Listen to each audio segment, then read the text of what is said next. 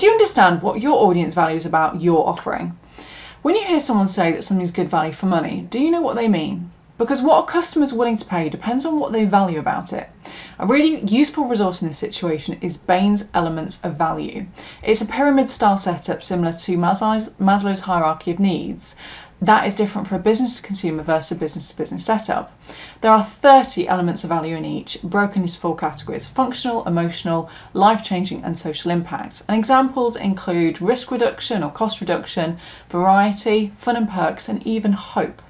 So it's a useful thing to use as a checklist to find ways that you maybe already produce value or opportunities to produce value maybe where your competitors don't. So check the links for those resources. Next week, we continue the conversation around value by looking at the relationship between value and what a customer is willing to pay.